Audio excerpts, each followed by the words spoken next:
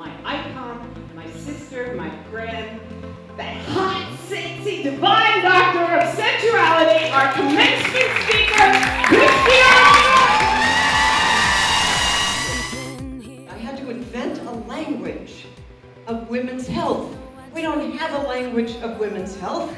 We have a healthcare system that does nothing except disease screening.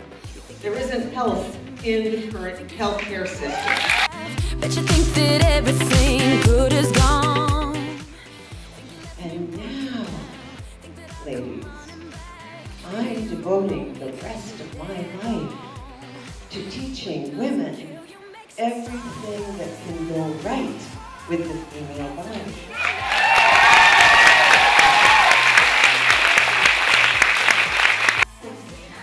You want to be a thriver. You want to be a flourisher. Is that difficult? Yes.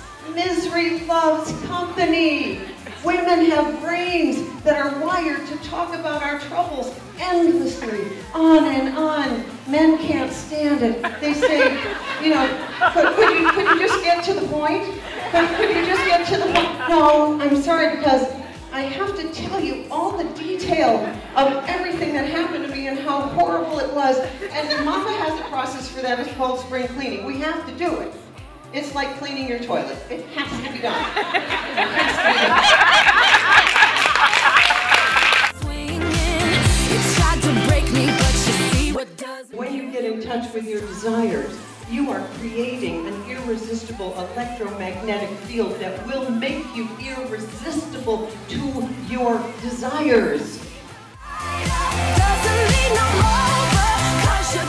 Secret Pleasures of Menopause was born out of my experience here with nitric oxide, which was realizing a turned on woman turns on the world, but she does more than that. She reverses cancer. She reverses autoimmune disease. So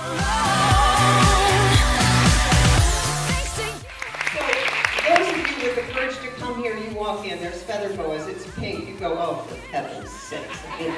This is so trivial. Uh-uh, folks. This is cancer prevention. This is the suicide hotline. You're in the right place. Thank you very much.